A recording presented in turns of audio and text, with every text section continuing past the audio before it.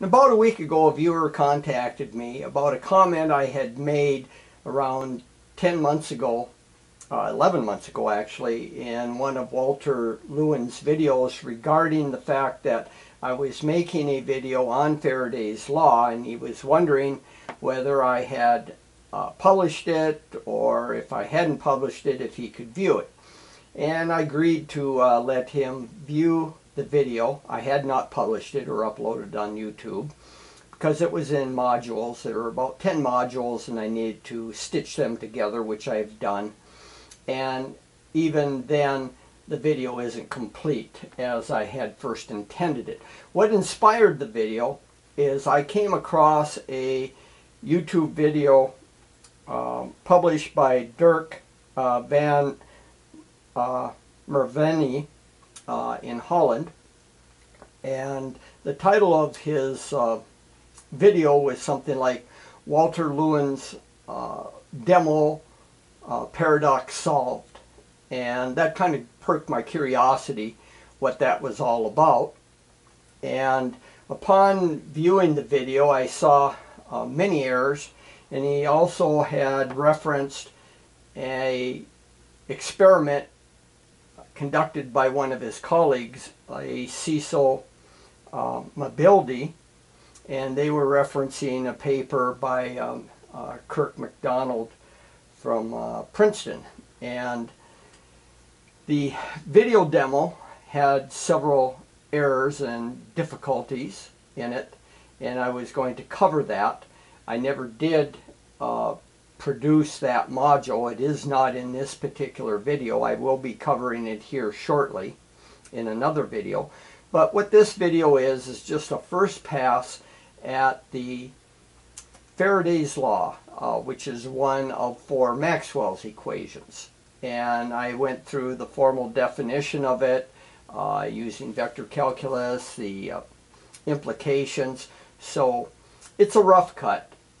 It's not a final version. I am going to redo this video. However, I'm putting it out there for viewers to view and comment on if they find spots that uh, were difficult in understanding, bring it to my attention, or there's some points you would like me to further elaborate on, or things that I don't need to cover. Feel free to make comments uh, so that I can take it all into consideration when I redo this video and produce a final version. Uh, in the next day or so I'm going to be doing a, another video which will help viewers understand how to solve Walter Lewin's uh, uh, demo where he has a single loop uh, immersed in a changing magnetic field and how voltmeter leads can be rearranged to give you different readings and different ways of probing the circuit and how to easily solve these uh, circuit problems. Uh, many people out there seem to have an extreme amount of difficulty in solving these network problems, these circuit problems, and I'll show you how to go about doing it easily. Let's begin. Faraday's law of electromagnetic induction is one of four Maxwell's equations that describe classical electrodynamics. The Maxwell equations are vector partial differential equations in space and time. the point form or differential form of Faraday's law is that the curl of the electric field intensity E is equal to minus the partial derivative of the magnetic flux density with respect to time. The three other Maxwell equations are Ampere's circuital law, Gauss's law, and an equation that tells us that there are no naturally occurring magnetic monopoles. That statement is that the divergence of the magnetic field density is equal to zero. From that, we conclude that magnetic lines of flux always form closed loops and never uh, begin or terminate on magnetic charges like electro electric field lines do. There are electric charges, plus and minus, but there are no magnetic charges. if we apply Stokes' theorem to the differential form of Faraday's law, that's Stokes' theorem. It's a mathematical theorem that takes the uh, curl into a line integral. And if we apply Stokes' theorem to this differential form, we get the familiar integral form of Faraday's law. That the line integral of the electric field intensity E over a closed path, this is going to be a closed path,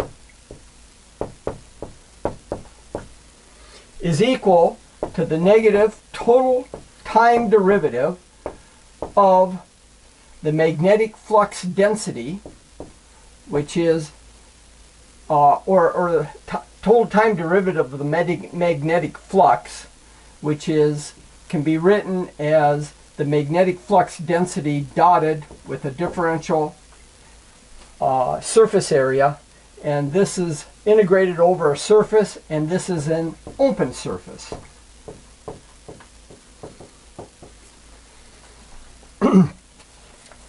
now the open surface has a boundary that's defined by the closed path. Um,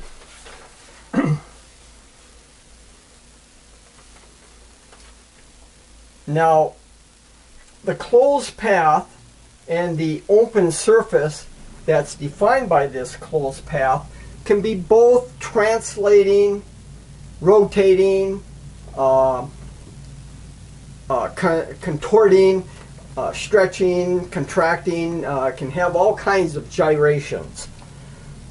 Stokes' theorem applies in these general cases where there may be relative motion between the closed circuit C and the changing magnetic field or the magnetic field could also be static and you could have relative motion between uh, this closed path and a static field. this right side can be expanded out in terms of derivatives of the divergence and curl of the B field but just like any operation that involves moving a derivative inside the integral one must be careful when applying a Leibniz type rule to a multivariate, multi-valued vector function uh, involving a uh, surface integral. I spent a considerable amount of time on this particular problem when I was in um, my master's program at uh, Michigan Technological University and I can assure you that Stokes' theorem does apply to surfaces that are moving and contorting. you can find information on this uh, on the expansion. Um, there was a hint on this in uh, Jackson's Classical Electrodynamics, which is um, a standard uh, advanced text. Um, he kind of mentioned this in a footnote, what additional terms might be, but it wasn't fully complete. Uh, but I'm not going to go into this, that, that the expansion of this is uh, rather involved. now, we um, can write Faraday's law in a shorthand way, which is familiar. We can write it as the EMF is equal to the time derivative of the magnetic flux this is a shorthand notation of this. And from this we can see that the EMF, or what's called the electromotive force, is equal to the closed line integral on E dot dl. the electric field intensity is defined as a uh, force that acts on a unit positive test charge. This is the force that would be felt by that test charge when it is placed in an electric field. That the electric field intensity is the force per unit charge, or the force felt on that charge. We that is how we define the electric field. For example, if you had some, say, electric field in space, and you uh, put a test charge in here, a positive test, char test charge, call it plus Q, then it will move in the electric field. There will be a force on it that will cause that charge to move within the uh, electric field. This is, say, RE field here. now, the work done by an outside external source on a charge and uh, moves this positive test charge from one point to another point in an electric field. We can define the work. Let's see here. Go here. We can define the work done on this test charge as uh, it's moved within an electric field using the standard definition of work. Work is minus the line integral from say A to B of a force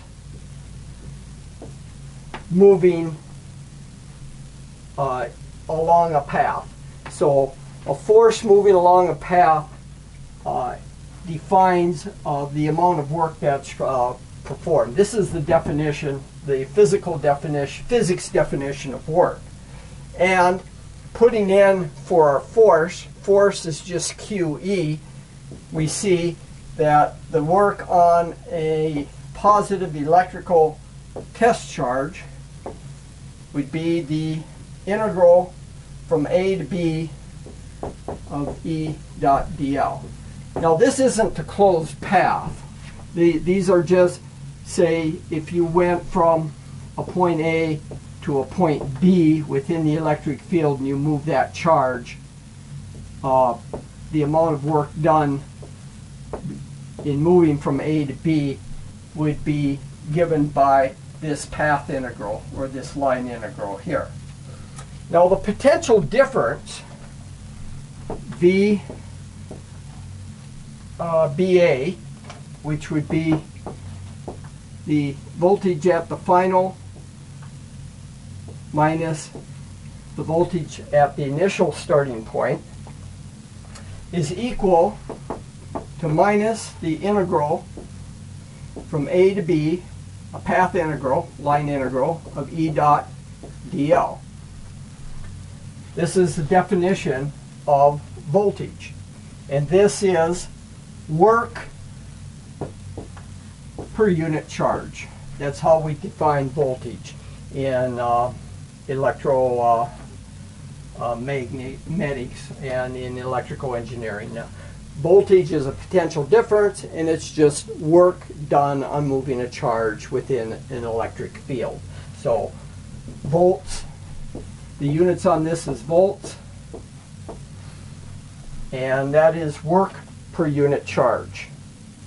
So we define EMF then or the electromotive force as the closed line integral on E dot dl.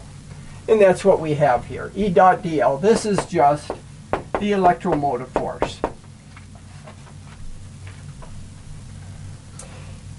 EMF, the electromotive force, is a scalar measured in volts. So the units on this, again, is volts. And note that it is a voltage about a specific closed path. It's a closed path like a loop, uh, and it has to be uh, uh, specifically called out. The EMF is path, de path dependent in a non-conservative system. If any part of the path is changed, then the EMF in general also changes. And that's what we have here. Uh, this is an expression of a non-conservative system. So if I change the path, the value of the EMF will in general also change. In a conservative force system, uh, field system, uh, the result on the value that I get in computing a closed line integral will uh, never change. You always get the same value and that uh, value will be zero. It's equivalent to uh, stating that uh, uh, the sum of the voltages around the loop always sum to zero, which is Kirchhoff's voltage law. Now Faraday's law is a departure from electrostatics where an electric field resulting from a static charge distribution must lead to a zero potential difference above the closed path. That is because in electrostatics, the curl of the electric field is identically equal to zero. This is a statement of a conservative system. A conservative force field is one that has zero curl. The fact that Faraday's law tells us that the curl in general is non-zero tells us that we have a non-conservative uh, force field. in electrostatics, the line integral, E dot dl, leads to a potential difference. With time-varying fields, the integral on E dot dl results in an EMF or a voltage. Now this is very important. If you have, say, a changing magnetic flux, let's just say the flux is coming out of the board and changing in time, that a time varying magnetic flux which we have here, produces an electromagnetic or electromotive force or an EMF which may establish a current in a suitable closed circuit. An EMF is merely a voltage that arises from conductors moving in a magnetic field or from ch a changing magnetic field within a closed circuit. So, if this is a changing magnetic field, we this would set up an electric current outside of the field. and if we had a conductor lying outside this field, then it, this electric field that's induced in space would cause a current to flow. Faraday's law again is usually stated as the electromotive force is equal to the negative total time derivative of the magnetic flux with respect to time. This equation implies a closed path, although not necessarily a closed conducting path. That is an important point. the closed path might just be a purely imaginary line in space. Um, it could include circuit elements like capacitors and resistors, or it could be uh, a conductor uh, in the path, or uh, no elements or conductors at all, just um, an imaginary line out in space. But the important point to remember is whenever there's a changing magnetic flux, it induces an electric field in the space around it. That electric field is always there. There might not be any current flow, but the electric field will be there. now, the magnetic flux is that flux which passes through any and every surface whose perimeter is defined by the closed path C and the uh, time derivative of a flux with respect to time, that is a rate of change of the flux that goes through this open surface that's defined by the closed path. a non-zero non -zero value of d phi dt may result from any one of the following conditions. One, you could have a time-varying flux linking a stationary path. That is, we could have this flux varying and we could have a closed fixed path that doesn't change in time. That will induce an EMF uh, on that path, this changing field would.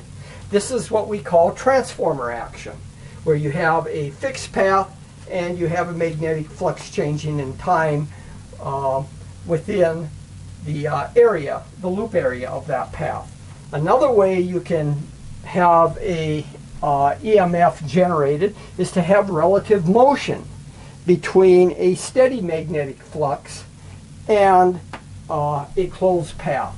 So for example, if I had, say, magnetic field lines like this and I had a loop that was rotating, like on a, a generator, this will generate an EMF as this loop flips around and cuts these magnetic lines of flux.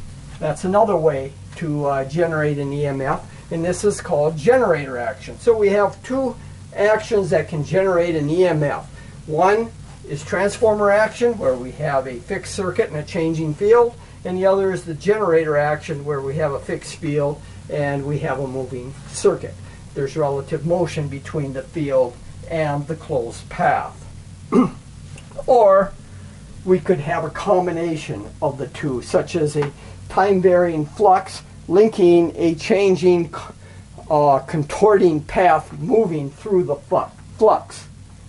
the minus sign is an indication that the EMF is in such a direction as to produce a current whose flux if added to the original flux, would reduce the magnitude of the EMF, and this is called the back EMF. We can use the current flow concept to determine the direction of the EMF, even though there may not be any current flow. It might just be empty space where there is no conductors for the current, to flow, but we can use that concept to, to uh, determine the uh, direction of the induced EMF. The changing magnetic flux is always established uh, in such a direction as to oppose the uh, changing uh, magnetic flux. So we can see how this might work is say again I have this uh, changing flux here and I've established uh, a circuit around it. Now a changing magnetic flux always establishes an induced electric field. So I'm going to have some electric field out in here and uh, that electric field will be present whether or not there are conductors in the space outside the changing magnetic field. If a conductor is present, a current will flow because there's an electric field and electric fields move charges. And we can see that in that current density J is related to the electric field through conductivity of a conductor, sigma. So J equals sigma E. Current, a scalar, is just the surface integral of J dot dA, where dA is the cross-sectional area of the uh, conductor. So if I have a conductor out here, and let's just say it's a round conductor, and there's a changing magnetic field, there'll be an electric field um, uh, induced into the conductor. and that electric field will give rise to a current flow through the current, current density. So if the current density is in the same direction as the electric field, and this would be the surface area, the cross-sectional area. So if we take J times the cross-sectional area of the wire, we'll get what the total current is flowing in that wire. so the electric field gives rise to current through the current density J. Now, let's assume that I have a long solenoid. A solenoid is a structure where we have a cylindrical conductor and we have a surface current flowing on that conductor. And within the solenoid, there will be a magnetic field uh, set up along the axis of this long solenoid. now, the way we um, can make long solenoids is uh, it's very difficult to set up a current flow in a sheet of current in a, uh, a sheet conductor, uh, but we can wind wire around uh, in a long coil, and we can wind many layers if we want on top of that uh, to simulate uh, the ideal solenoid, and we can get very close to um, building a uh, practical solenoid that behaves uh, close to ideal. Now, if we have a changing magnetic field, say we have an alternating current um, flowing in the wires that make up this solenoid, so we have a changing uh, B field, and the B field, say, is increasing, then an electric field will be set up in the space outside the solenoid.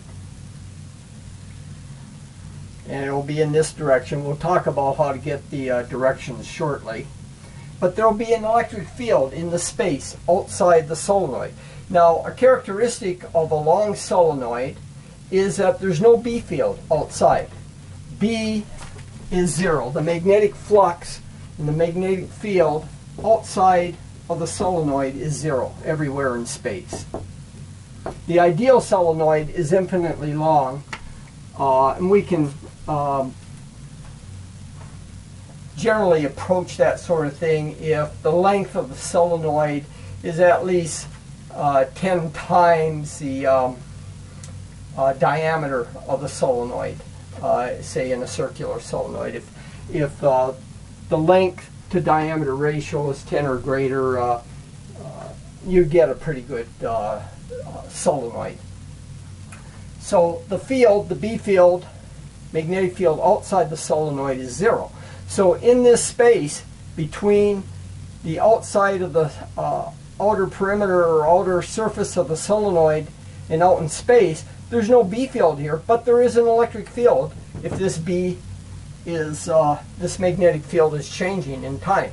So an electric field gets set up everywhere in space outside here and the um, electric field is related through this. Uh, the EMF generated, or the E dot dl line integral, the value of the EMF is determined by the rate of change of the uh, magnetic flux. So if you look at this, you can see that uh, the EMF value is constant for a given rate of change of the magnetic flux. So this is constant and the line integral on E around a path has to give me the same EMF value regardless of the path that I take. So if I'm close in where my path is fairly short, then E times the path length equals the EMF. But if I go out here where I have a longer path length, then necessarily the E has to decrease. If the path length goes up, the electric field intensity has to decrease so that the product remains constant. So this tells us that as we get out further and further from the solenoid, the electric field weakens. now the E field is established and set up in the space outside the solenoid by this changing magnetic flux. If we place a conductor outside, surround this solenoid with a conductor, say if I take a wire and put it around the solenoid, then the E field that was established penetrates the conductor and produces a force on the free charge carriers or the electrons uh, in that wire and it will uh, move the charge carriers to produce a current. And we can see that that the rate of change of the magnetic flux with time gives rise to an electric field. This is set up in the space outside of the uh, solenoid and the electric field penetrates the wire, gives rise to a current density which is related to the electric field through the conductivity and then from the uh, current density in the wire we get a current by integrating the current density over the surface area, cross-sectional area of the wire. I'll call this the A of the wire. And this part is in the conductor. So the time rate of change of magnetic flux always sets up an E field out in space whether or not there's a conductor. This is a very important point. We'll be using that. And if we place a conductor in the space outside the uh, changing magnetic flux, we get a current established through the electric field moving charge carriers in the uh, conductor. The free charge carriers move. Let's discuss briefly a little bit about the consequences of changing magnetic fluxes in the real world. Suppose you uh, have a wire that connects um, a, a, signal source to some sort of a, a load out here. And if you have a changing magnetic flux, uh, such as um, uh, coming from uh, electrical equipment around in uh, the home or in a, a studio from transformers, uh, machinery, could be setting up a changing magnetic flux in the environment. And you have this wire pair um, immersed in that magnetic field. And from Faraday's law, we know that it's going to uh, set up a uh, E field within that wire. The E field is going to be um, in this direction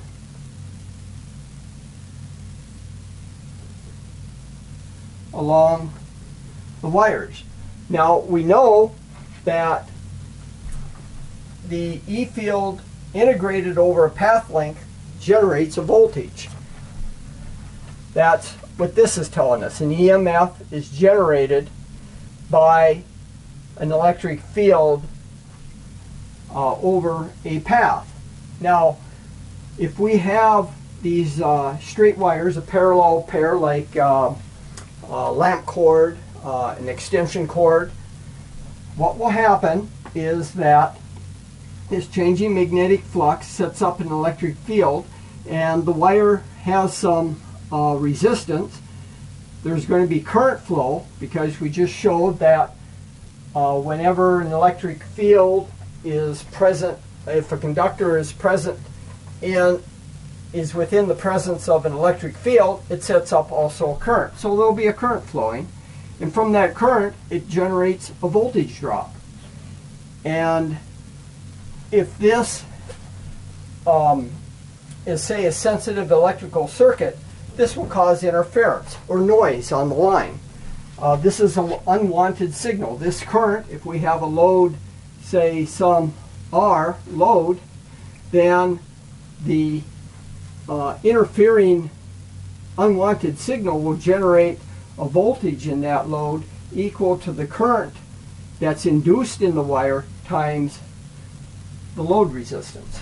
And this could be a significant amount. This is where what causes hum on your audio lines, and that is you have this uh, extraneous pickup uh, caused by uh, changing magnetic fields in the environment, inducing an electric field in your conductors um, and producing a current flow that will create an unwanted voltage, say uh, at uh, the input to your amplifiers, and you uh, quite common will hear 60 hertz hum.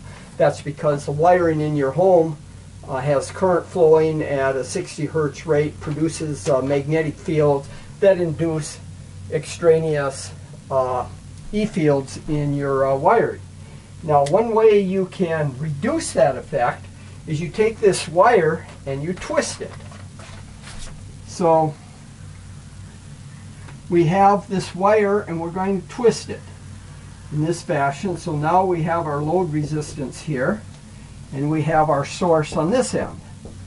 Now what does this do for us? Well, again, we have this magnetic field that this twisted wire is uh, immersed in. And look, let's look what happens. We get the same electric field generated uh, in this wire as we did with the uh, straight wire like on the uh, zip cord or extension cord. So our electric field gets induced around this path on each one of these loops.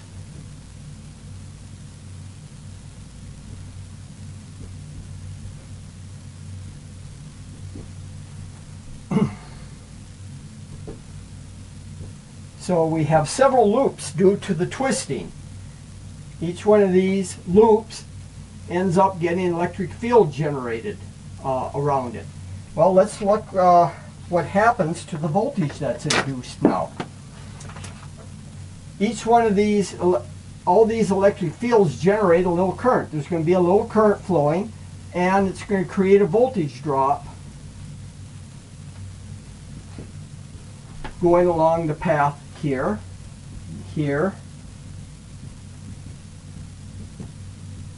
So we get a little bit of voltage drops on each one of these sections due to uh, the induced electric field in the wire. Well, how about if we go from the positive end, say, of this generator to the positive end on the load? What do we get? Well, let's look at these voltage drops. We have plus, minus here, then this wire is coming down here. We encounter minus to the plus. Now we come back up on the twist. We're plus minus. Now we come down on the twist and we're minus plus. So, each one of these is a voltage drop. But we see that the voltage drops cancel on each pair of loops. We have plus, minus, minus, plus. So the voltage here is zero. The voltage here is zero when we add everything up.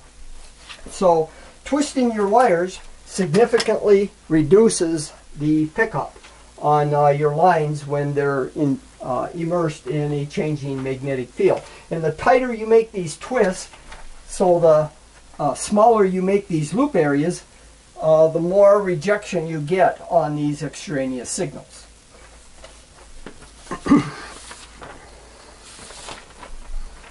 now, one last thing on this is, say if I have a current carrying wire,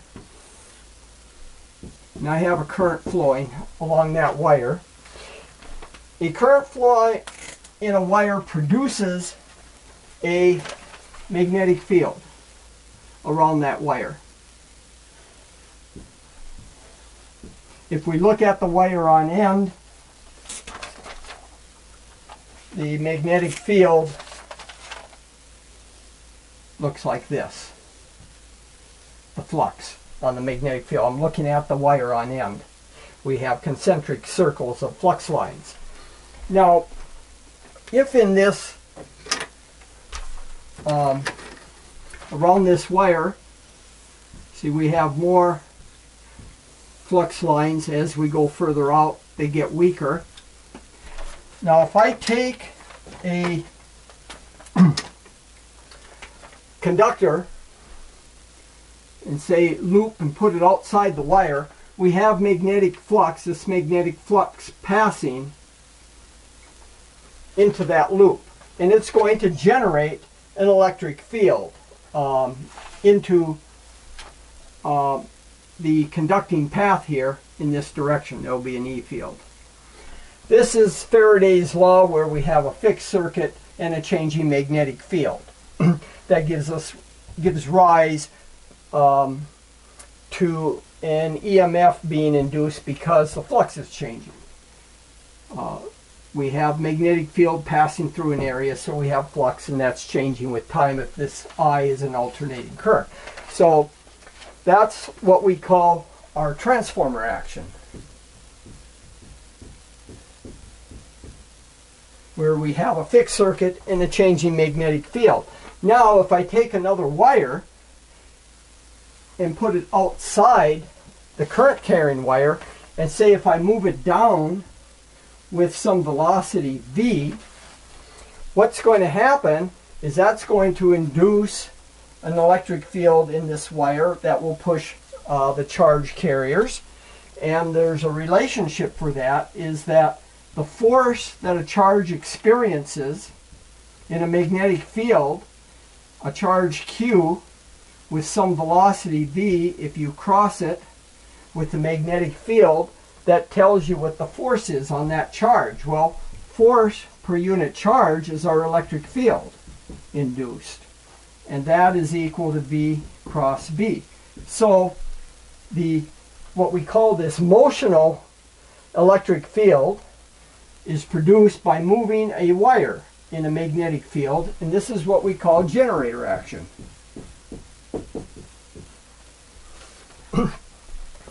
and if you look, my B field, uh, as I'm moving uh, the conductor, I'm cutting these lines of forces. Basically what you're seeing is looking on end is we're moving this wire out in this direction, V. Well, our B is in this direction, so V cross B, using the right-hand rule, gives me a electric field induced in that wire coming out of the board. So looking at this, B, B cross B gives me my motional electric field in that direction. So there's two ways that uh, electric fields get generated due to time changing uh, magnetic fields. One is the transformer action where we have a fixed circuit and the magnetic flux changes in time and the other is generator action where we have a fixed flux field and we move a wire to cut the lines of force or the magnetic flux. Uh, and that will also generate um, an electric field which will generate a current in the wire. Let's talk a little bit about the magnetic flux density field, the B field.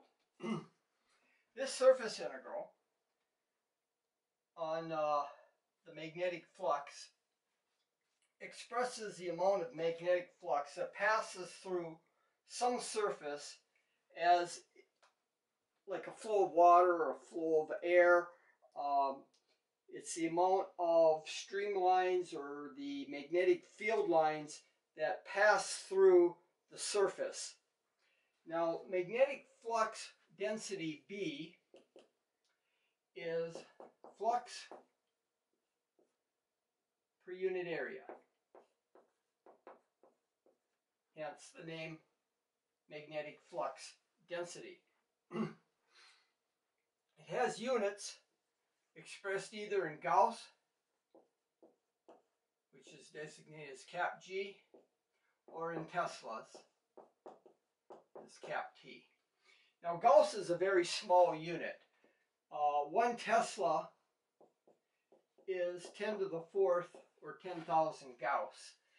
Um, the Earth's magnetic field is about um, a half of a Gauss. It's very weak. Give you some other ideas. Your uh, refrigerator magnet, typical refrigerator magnet is about 50 Gauss. Uh, these real strong neodymium magnets that you can get, they tend to be on the order of a half a Tesla to one and a half Teslas. Uh, half a Tesla is 5,000 Gauss, so it's about 10 times, 100 times stronger than a refrigerator magnet. And an MRI scanner uh, typically has magnetic fields on the order of 7 to uh, 12 Teslas.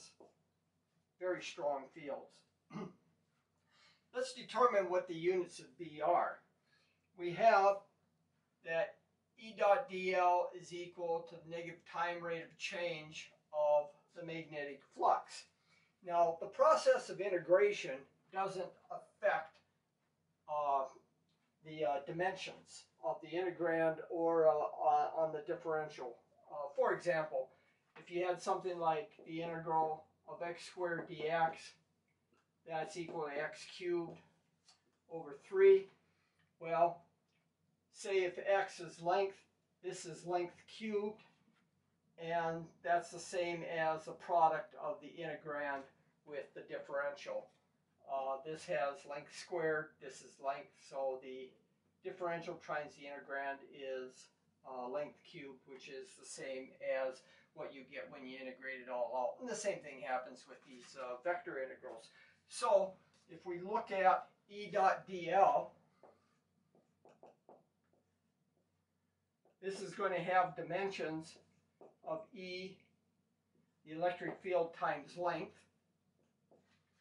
and if we look at the uh, flux, time derivative of the flux, then d dt on b dot dA is going to go into dimensions of, we'll have B, which we're trying to determine, times area, which is length squared, and we're taking the derivative of that, so we divide by time. So equating these two, we end up with EL equals BL squared over time. Um, one, one of the lengths cancel, so we have E equals BL over T. Um, now the electric field we know is force per unit charge. And force is um, equal to mass times acceleration. So this is mass, force is mass times uh, acceleration, which is length per time squared. Mass times acceleration is force, and then we divide by q. So now um, we can equate this with that. Solve for b. b is mass times length over charge times time squared. We bring the time up and divide by length. The lengths go out, one of the times go out. So the units on the uh, magnetic flux density is mass per unit charge per time. So this would be in the MKS system, the mass um, meter kilogram second. This mass is kilograms. Uh, charge is in coulombs and time is in seconds. So the magnetic flux density has units of kilogram per coulomb second in the MKS system. Now let's consider Faraday's law right here.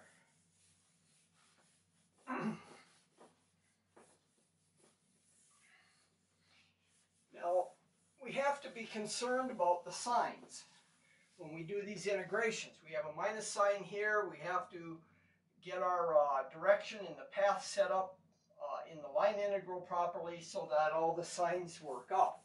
I'm going to show you how you do that now.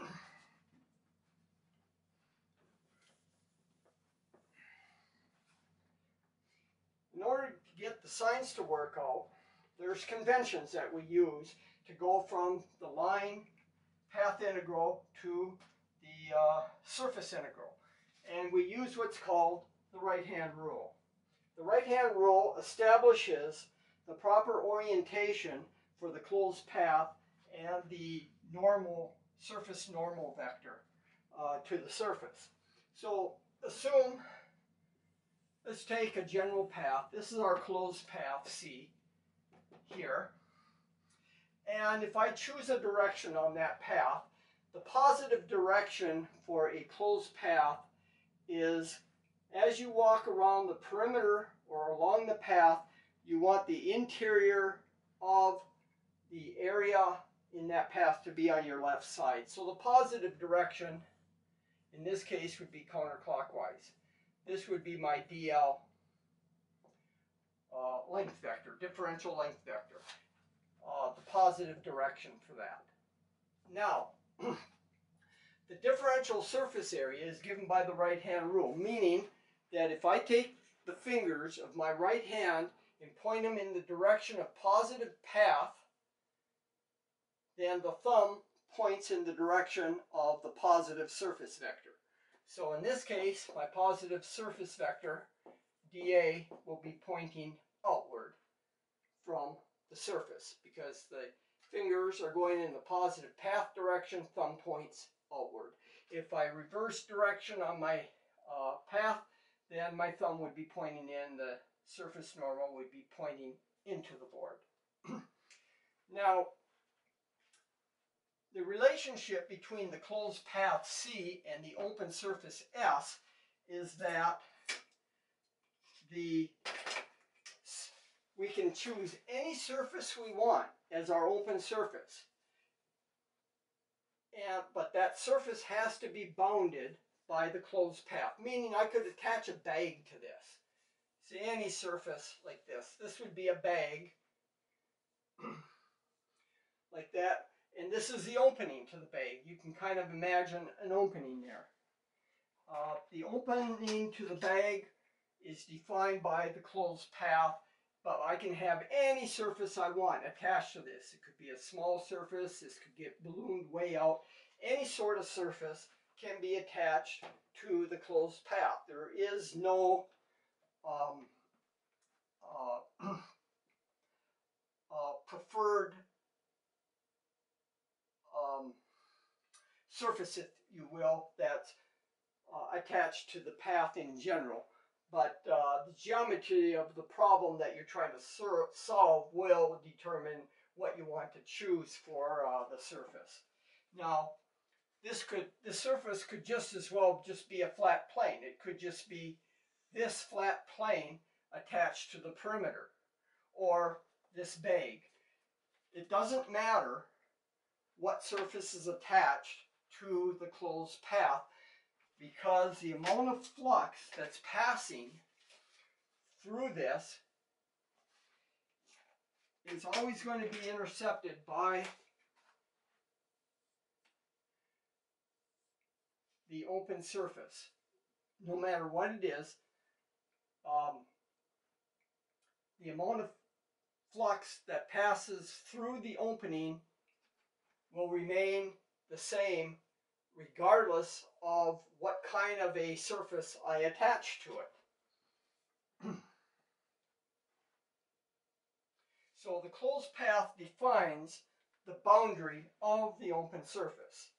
And like I said, the surface can be any type of bag uh, as long as the opening is defined by the closed path. It doesn't matter. The same amount of flux passes through all surfaces that have the path contour uh, as its bounded perimeter. now, how you choose this surface for integration depends on the geometry of the problem. If, say, your B field um, is uniform, and if we look on end and say it's like what's coming out of a solenoid, then if I want to compute the flux, it would make sense to choose a circle that surrounds it. Uh, that's equidistant from the center. uh, because that would be easy to integrate out. Now I could choose any other um, uh, contour path and a uh, surface, but it might be a real bear to try to integrate because the geometry doesn't fit the problem. so normally the geometry of the problem will indicate to you what you want to choose for uh, your closed path and uh, the surface that is attached to it, much like you do with Gauss's law. we'll now do a, a, very simple problem to illustrate the procedure, say, and if we want to find what the induced electric field is outside uh, a solenoid. Uh, here I have a solenoid. Uh, we have uh, current flowing in the uh, solenoid to produce a magnetic field. The magnetic field is coming out to the left here. And I'm going to choose uh, a path around which I'm going to compute the electric field that's induced in the space around the solenoid. So first I'm going to do is just choose a positive direction for um, the uh, differential path length and I'm going to be going say counterclockwise. This is the positive direction for our differential path length. Well, as we said before, the differential path length and the differential surface area vectors are related to one another by the right-hand rule. So counterclockwise is the positive direction for differential path length, then the positive direction for the surface normal is out of the board uh, in the same direction as B. Let's assume our coordinate system will choose the x-axis going down the axis of the solenoid. So positive AX direction is going to be out. So this will be my positive AX direction. now, the B field say it's changing in time in some prescribed manner. I don't know what it is. You could choose it. And it's uniform. Uh, because this is a solenoid, the B field all through the cross section of the solenoid will be the same. It, it's uniform. It doesn't change magnitude with position. So I can write the B field vector as some function on time on the scalar magnitude of B in the AX direction, the positive AX direction.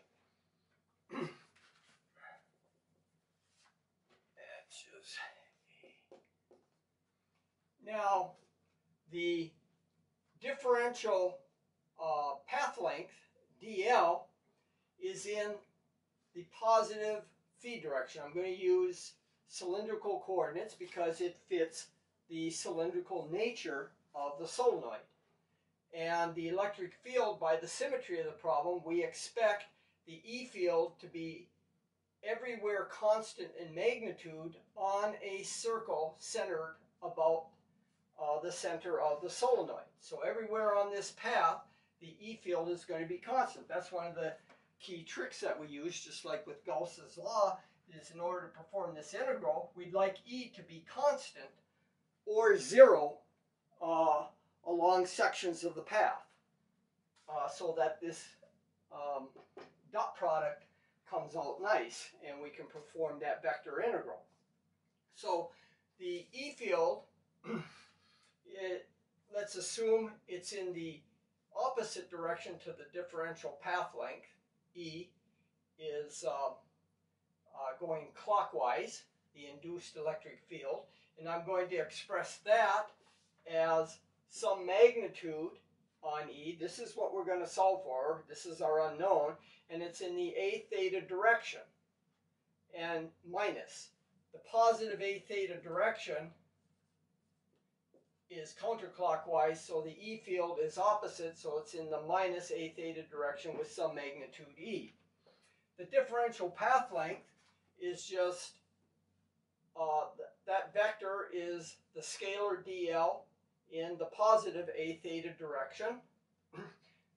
That's this. And our differential surface area, dA vector, is just the scalar magnitude also in the AX direction along with B. So now we can perform the integrations. the closed line integral of E dot dl will be minus E A theta. That's our E field, and we're going to dot that with our differential path length, which is dl in the A theta direction. and that is going to be equal to minus the total time derivative with the total time derivative of the surface integral of b dot dA. Well, b is b of t in the ax direction, and I'm going to dot that with dA, which is the magnitude of the differential surface element times AX. Well, we see what we have here in the dot product. We have A theta dotted with A theta. Any unit vector dotted by itself is just unity, so I could rewrite this as, uh, pull the minus sign out, we have E dl, those are our scalars, and we have A theta dot A theta, and this is 1. And this is equal to minus the time derivative of the surface integral, and the same sort of thing here. B of t is the magnitude, that's a scalar, times the scalar magnitude of the differential surface area, and then we have ax dot ax. And again, this is unity because any unit vector dotted by itself is 1.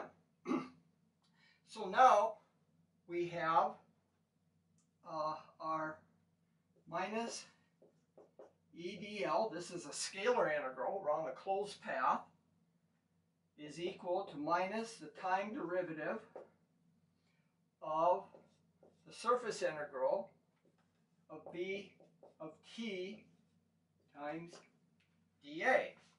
All right, now, uh, let's some of this. And I can get rid of this portion here. So, let's bring this up. Now, the differential length, since we have um, a cylindrical system, if we go out some radius r from the center of the solenoid out to the path, the differential L, in this case dl, will be r d theta. That's arc length. So our dl is just r times some differential theta. That's the uh, differential path length. And our differential area is we're going to integrate over here. So we might as well, um, uh, again, we can use the um, cylindrical coordinate system and we can go out r differential area in the polar coordinate system is just um, the um, little patch that we have here. This side is differential r, and then this side is r d theta. So this is just r d r d theta. That's our differential um, area element. So now let's put them in here. We have minus the closed line integral of E, uh, which we're solving for, dl is r d theta, and this is equal to minus the time derivative of the surface integral of b of t times differential area, um, which is r dr d theta. Now, b is not a function of r or theta, and it can be pulled out and neither um, uh, um, R, E is not a function of theta because we've assumed that everywhere along this path as we go around in the theta direction that the E field is constant. So I can pull the E field out. So we have E around the closed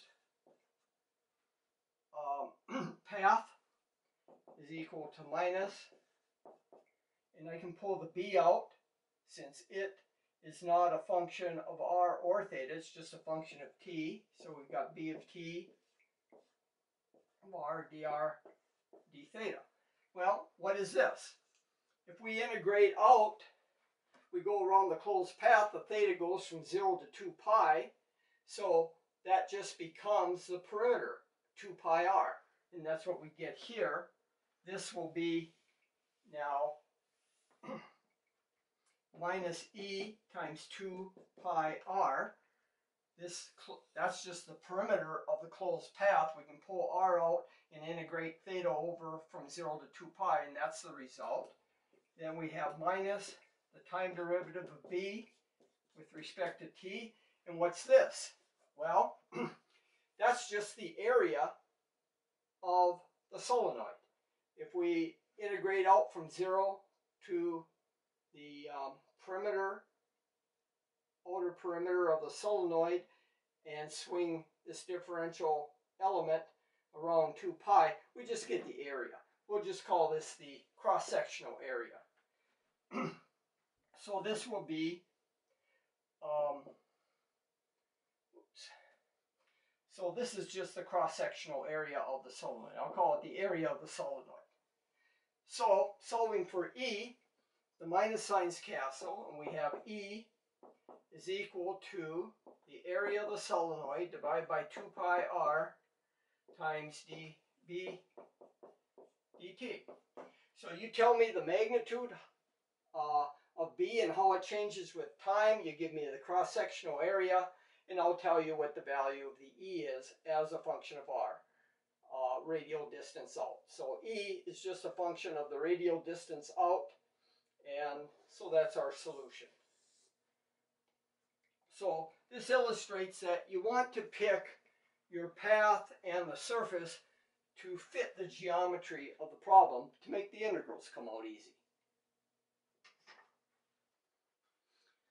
Earlier I discussed the relationship between the closed path that's used in the line integral on E dot dl with the open surface that's attached to it that's used in the surface integral determine the magnetic flux. If we have, say, a closed path C, then the um, way we establish the uh, directions for the positive differential path length and the differential area is as follows. The positive direction for the differential path length is in the direction such that as I go around the path that the interior to the path is always on my left side. So in this case, if I go in a counterclockwise direction, my differential path length would be in the counterclockwise direction. So as I go around, the interior is to my left. So this is the positive DL direction.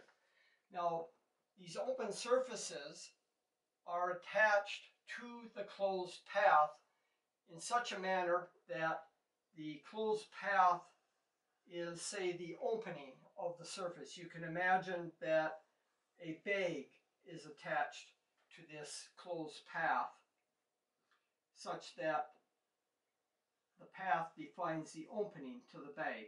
We can have any number of surfaces attached to the closed path. There's an infinite number and which surface we use depends on the geometry of the problem. Now the differential element of area is chosen such that if I, I take the fingers of my right hand and curl the fingers in the direction of the positive differential path length, then the thumb points in the direction of the differential area. So in this case, the differential area will be coming out of the board. My fingers curl in the direction of positive differential path, the thumb comes out, so that's the direction of positive differential area. Now the situation isn't quite so clear and clean between the E field and the B field, but fortunately we have uh, a way to uh, uh, do it by using what's called Lenz's law.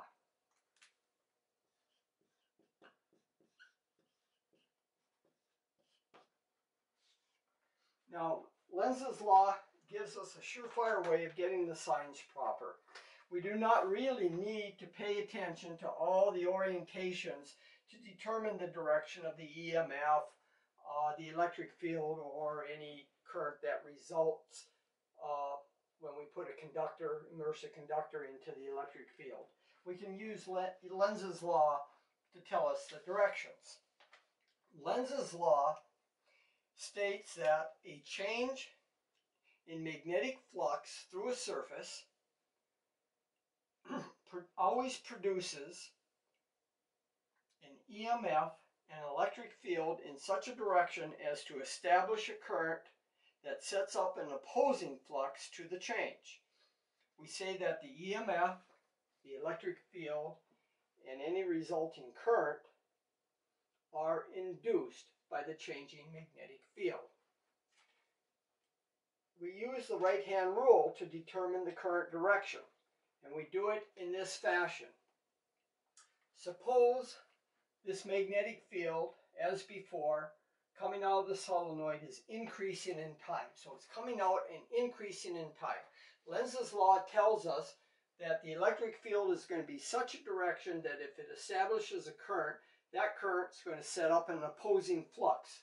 So if this field is coming out and increasing, we need to establish a flux that opposes it. So the fingers of the right hand, you can think of being magnetic field lines, and they're going to be opposite to what uh, uh, of the field, the originating field. So our fingers go in to the solenoid, and the thumb then points in the direction of the electric field.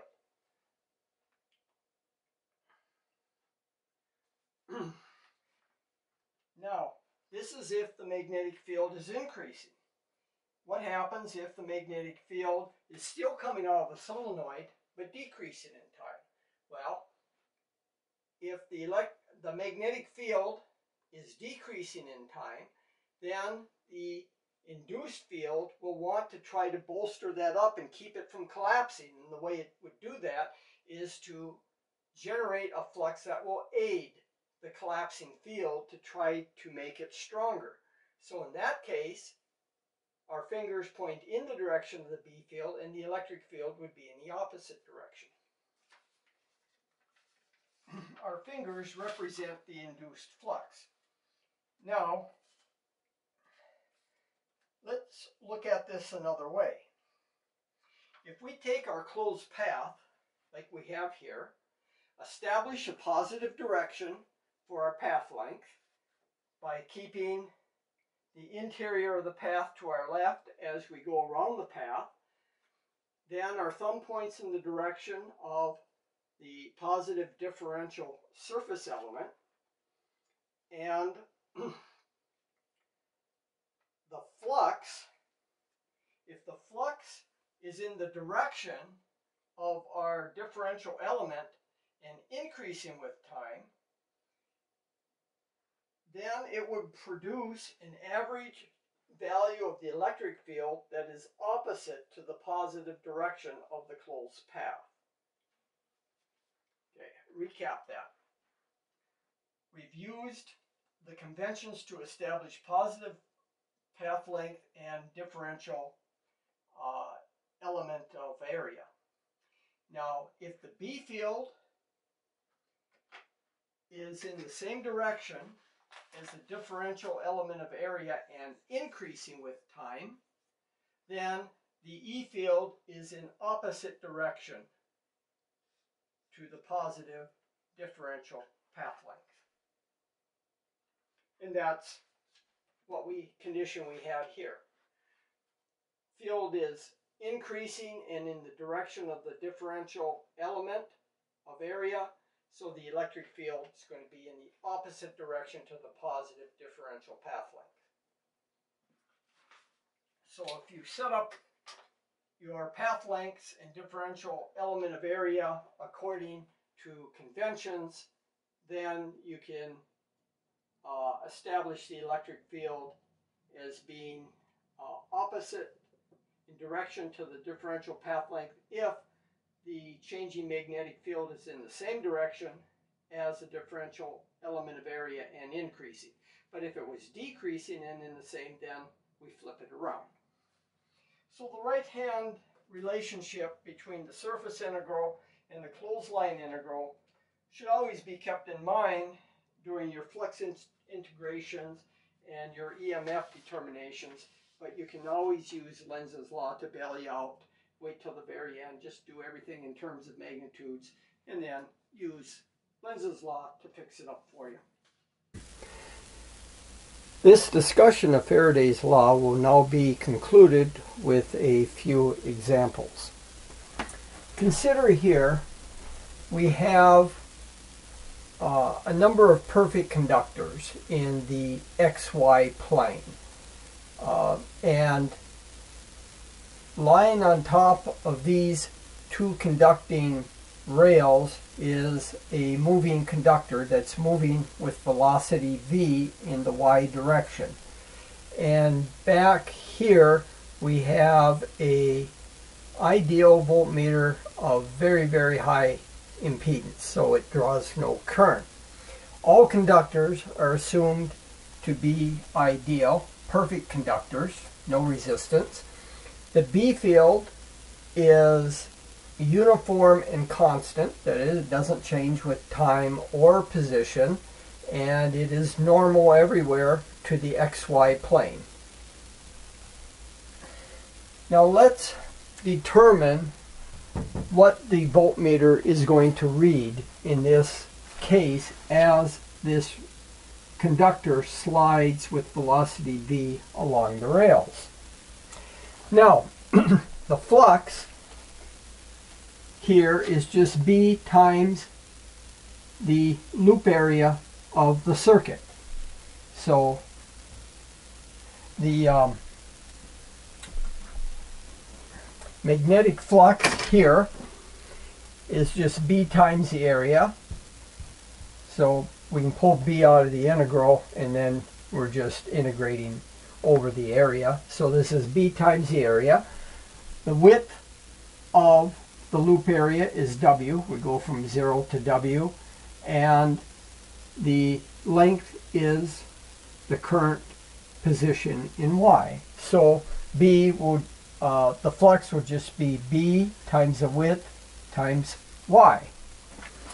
Okay, the time derivative of the flux is the derivative of this. B and W are constant with respect to time, but Y changes, so the EMF is minus the partial, or minus the uh, derivative of the flux with time, and this will be minus B W dy dt.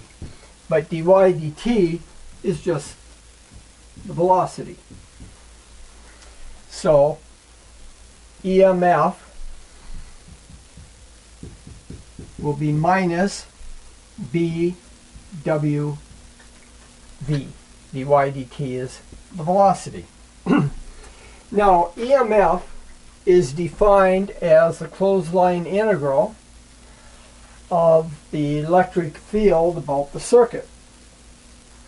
And there is a conducting path that we're dealing with here. So we can determine E at every point along this closed path at any time. In electrostatics, the curl of E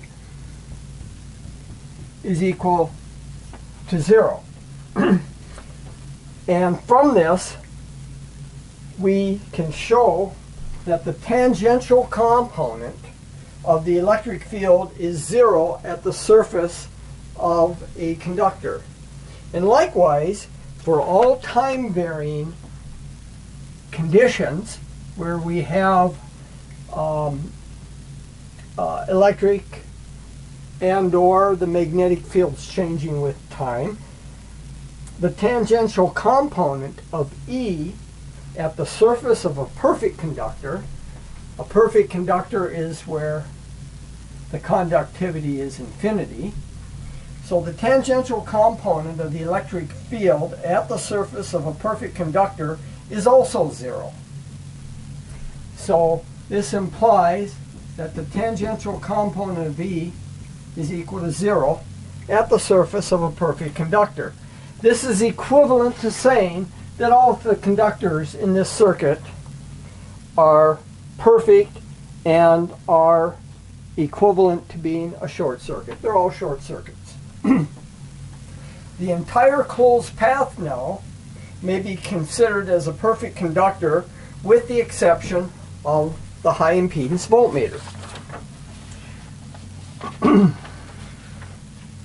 the computation then of E dot dl must then involve no contribution along the entire moving bar, both rails, or the voltmeter leads. So any part of this circuit will not contribute to E dot dl because they're perfect conductors and can't su support a tangential component of the electric field. so if we integrate in a counterclockwise direction,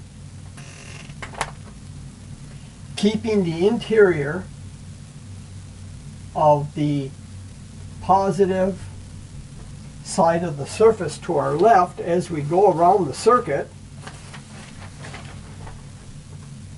So our DL will be in that direction. That's a positive direction for differential uh, path length.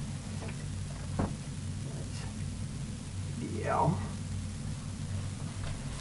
That is, we're going to go around the circuit, keeping the interior of the positive portion of the surface to our left. That defines the positive direction of DL.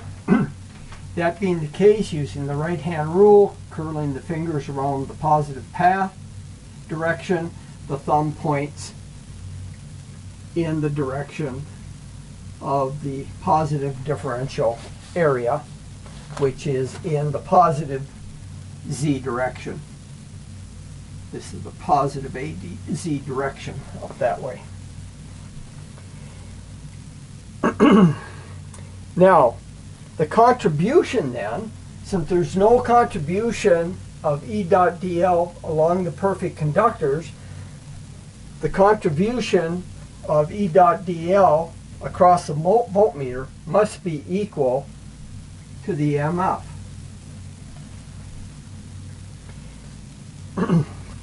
so our EMF, which is the time derivative of the magnetic flux with time, the negative of that, is this value. Now, B, let's look at this from uh, uh, one way just to uh, verify this. B is in the same direction as our positive surface area.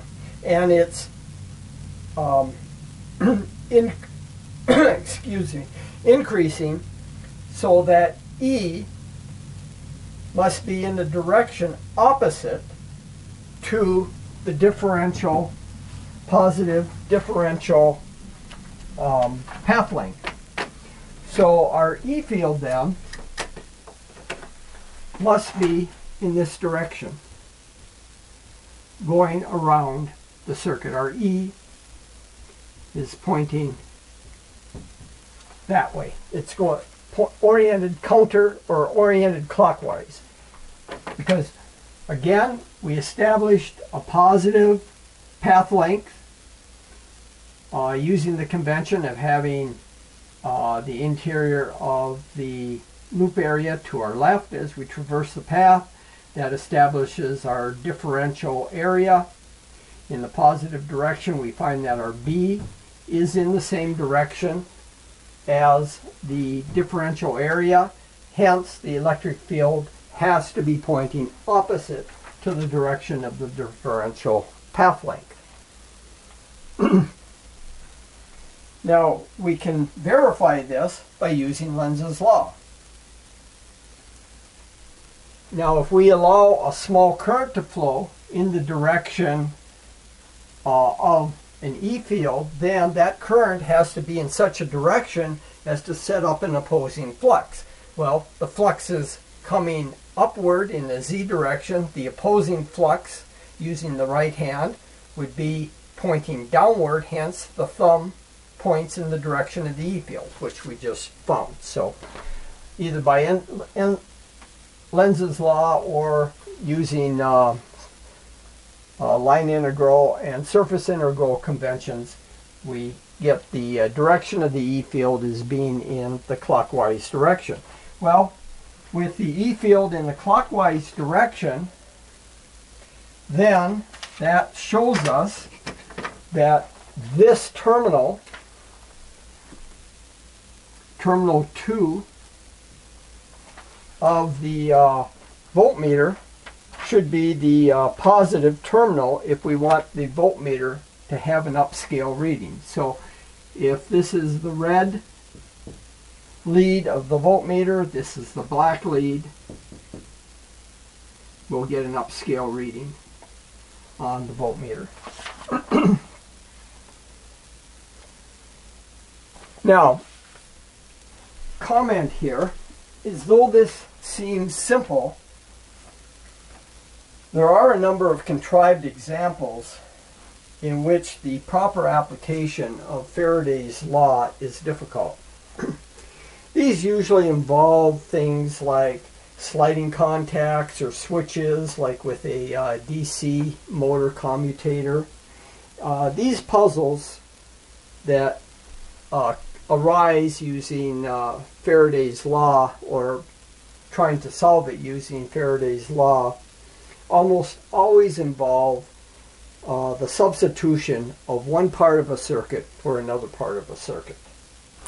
And I'll show you how that uh, comes about.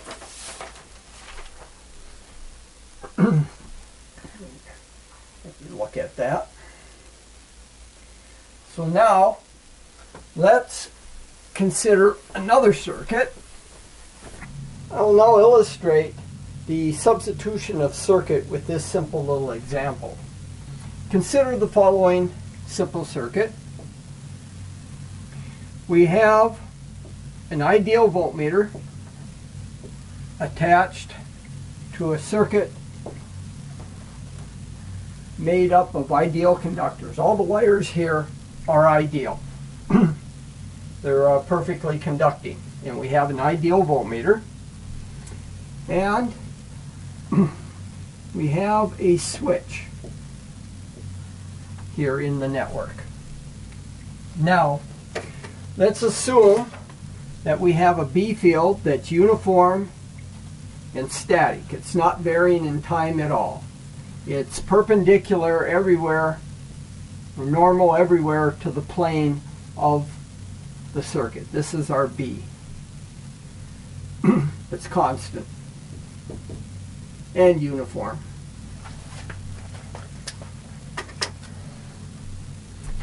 Now, at time 1, the switch is closed. So this part of the circuit is taken out. And all the voltmeter sees is this area. We'll call this part of the network area 1. We'll call this part area 2. Now, at time equals 0, the switch is closed. And what is our flux? The flux is just B times area 1. Now, at t equals 0 plus, the switch is open. And now, with the switch open, the voltmeter sees the total circuit or the loop area of A1 plus A2. So then the flux, magnetic flux that the voltmeter sees is B times area 1 plus area 2. So the flux has increased the minute the switch has uh, been opened. now, be before the switch was open, this was all static. There was no changing flux at all. The, the B field is constant, no time varying going on. The switch, the circuit isn't moving, so there's no relative motion. So the voltmeter will read zero in this case because there is no changing flux. Now, at t equals 0 plus, the switch opens, and what happens to the voltmeter? The flux is increased. Is the voltmeter going to flip, uh, flicker or anything? No. The voltmeter is still going to read zero, even though the flux has increased when we've opened up the switch. The change in flux has not been produced by either a time-varying B field or a conductor moving through a magnetic field. Instead, all we've done here is introduced a new circuit that has been substituted in for the old. We started off with the old, with this circuit, and now when the switch is uh, opened, we substituted this old circuit with a new circuit. so, the lesson here is that one must be careful when evaluating changes in flux. The separation of your EMF into two parts um, usually involve one do there's two ways we can induce an EMF. One is due to a time rate of change in the B field, in the magnetic field. This is called transformer action, where the circuit is fixed and we're just changing the uh, flux due to the change in uh, magnetic field. That's called transformer action.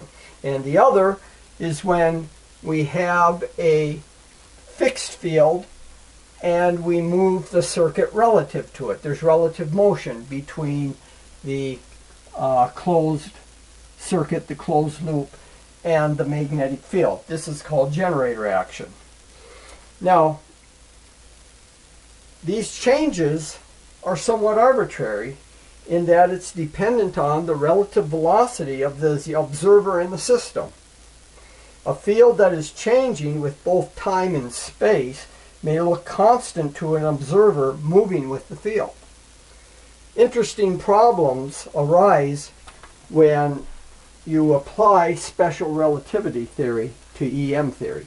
So the application of Faraday's law, you have to be very careful to account for how flux is being linked, how flux is changing, relative motions between observer and the network. Um, and these things can get rather complicated.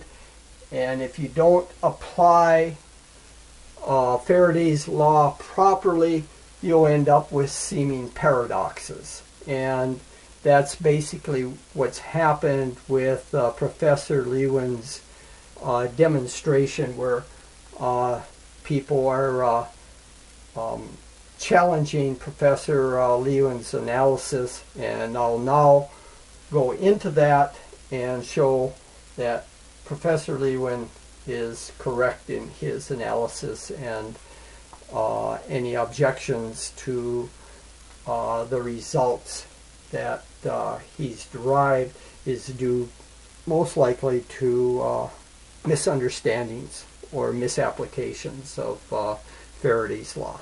So We'll now get into that.